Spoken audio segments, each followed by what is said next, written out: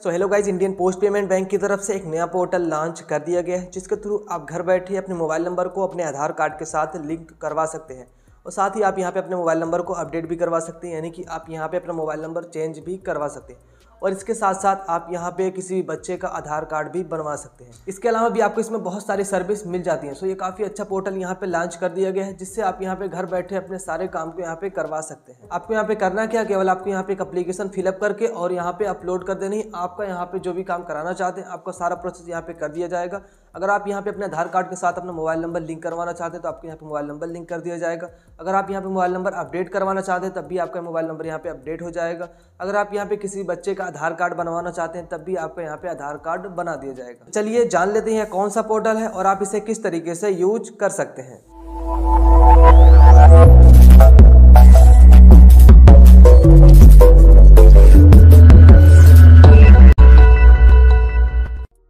तो सबसे पहले आपको इस पोर्टल पे आ जाना है triple C dot sep dot G O V dot in यहाँ पर आने के बाद आपको सबसे पहले इसे डेस्कटॉप साइट पे कर लेना है। यहाँ पे क्लिक करके ओके आप यहाँ पे देख सकते हैं हमारा यहाँ पे डेस्कटॉप साइट पहले से यहाँ पे है इसका लिंक आपको वीडियो को डिस्क्रिप्शन में मिल जाएगा वहाँ से आप डायरेक्ट इस पोर्टल पे आ सकते हैं ओके यहाँ पे आने के बाद आप यहाँ पे इसका इंटरफेस देख सकते हैं आपको यहाँ पे कुछ इस तरीके से इसका इंटरफेस आपको यहाँ पे शो होने वाला है अब चलिए मैं आपको यहाँ पे बता देता हूँ कि आपको यहाँ पे फॉर्म फिलअप करके किस तरीके से यहाँ पे सबमिट करना और किस तरीके से आपका यहाँ पे मोबाइल नंबर अपडेट होगा लिंक होगा ओके तो सबसे पहले आपको यहाँ पे अपना नाम डाल देना है। यहाँ पे आपको अपना पूरा एड्रेस डाल देना है। जिसके लिए भी आप यहाँ पे कुछ भी करवाना चाहते हैं, कुछ भी चेंज करवाना चाहते हैं, ओके? उसके बाद आपको यहाँ पे अपने एरिया का पिन कोड डाल देना है। यहाँ पे आप अपना ईमेल एड्रेस भी डाल सकते हैं। इसकी कोई भी ज़रूरत नहीं है।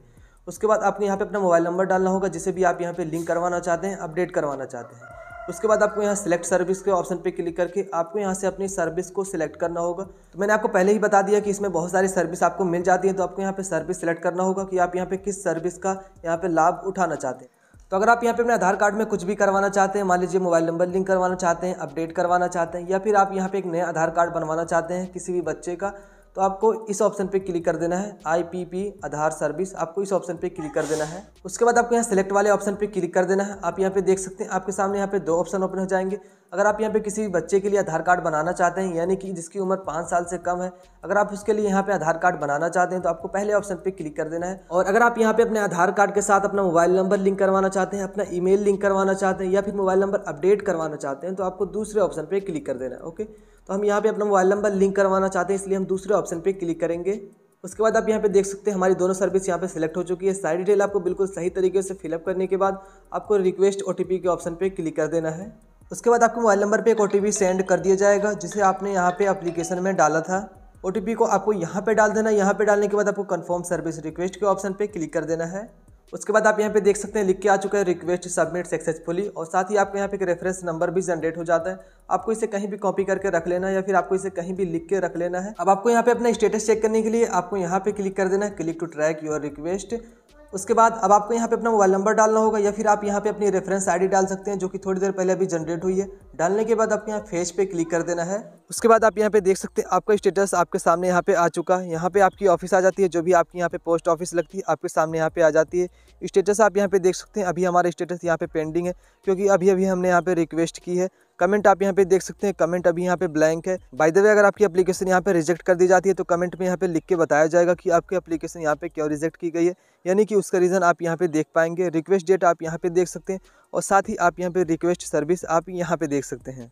अब बात आती है कि आपके आधार कार्ड से आपको मोबाइल नंबर किस तरीके से लिंक होगा, किस तरीके से अपडेट होगा। तो जैसे आप यहाँ पे अपने एप्लीकेशन को सबमिट करेंगे, आपकी एप्लीकेशन सेंड कर दी जाएगी आपके ऑफ़िस में, यानी कि जो भी आपकी पोस्ट ऑफ़िस लगती है, आपके पोस्ट ऑफ़िस में आपकी एप्लीकेशन यहाँ पे सेंड कर दी जाएगी। उसके बाद आपके एप्लीकेशन को यहाँ पे चेकअप किया जाएगा। अगर आपकी एप्लीकेशन सही होती है, उसके बाद आपके एप्लीकेशन को यहाँ पे एक्सेप्ट कर लिया जाएगा। फिर पोस्ट ऑफ़िस से एक पर्सन आएगा आपके घर पे, उसके बाद सारी चीज़ें यहाँ पे चेक करेगा। उसके बाद आपकी यहाँ पे बायोमेट्रिक के थ्रू आपके आधार कार्ड में मोबाइल नंबर आपका लिंक कर देगा। तो मैं आपको बता दूँ कि इस सर्विस का नाम ही है डोरी स्टेप सर्विस आपका सारा प्रोसेस आपके घर पर होने वाला है।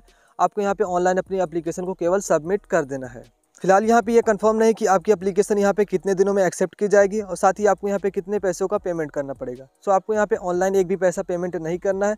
जो भी आपको पैसे देने हैं, आपको ऑफलाइन पोस्टमैन को देने हैं, जो भी आपके घर पे आएगा। इसके लिए मैंने इनके कस्टमर केयर में भी बात की। उन्होंने भी कहा कि अभी यहाँ पे ये कंफर्म नहीं है कि आपको यहाँ पे कितना टाइम लगने वाला है और आपको यहाँ पे कितने पैसे पेमेंट करने पड़ेंगे। फ़िलहाल ये सर्विस यहाँ पे जेनुअन है। सो आप यहाँ से अपने आधार कार्ड को लिंक भी करवा सकते हैं, अपने आधार कार्ड में एक नया मोबाइल नंबर भी अपडेट करवा सकते हैं। तो उम्मीद करता हूँ ये जानकारी आपको काफ़ी ज़्यादा पसंद आएगी और पसंद आए तो वीडियो को लाइक और शेयर ज़रूर करें। अगर आपका फिर भी कोई भी क्वेश्चन हो तो नीचे कमेंट करके आप मुझसे पूछ सकते हैं।